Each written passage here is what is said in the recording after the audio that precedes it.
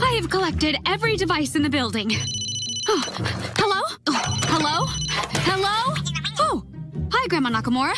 Mr. Nakamura? Oh, he's, uh, in, in the bathroom. Um, for the rest of the day. He had some bad shrimp. Okay, bye. I've been doing that all day. At least you didn't have to do a four hour interpretive dance. Oh, well, Lalo and I had to pee on half the newspapers in town. Let's just say we're drained.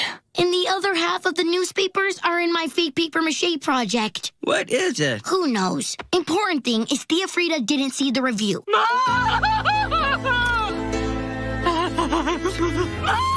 Ah! oh no, we missed a paper. She must have read the review. They say Artemio Alcaraz makes or breaks artists. Well, it looks like he broke her. We have to unbreak her. What if she listens to Artemio and gives up being an artist? Then I'll find that Artemio Alcaraz and I'll break him! Easy, Tiger. Maybe we can show Mama that the review doesn't matter. How? Tonight's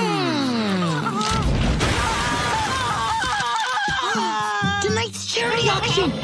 If Tía Frida's art sells, she'll believe in herself again. But how will we get people to buy her work after Artemio trashed it? Artemio's is not the only opinion that matters. I think I have a plan.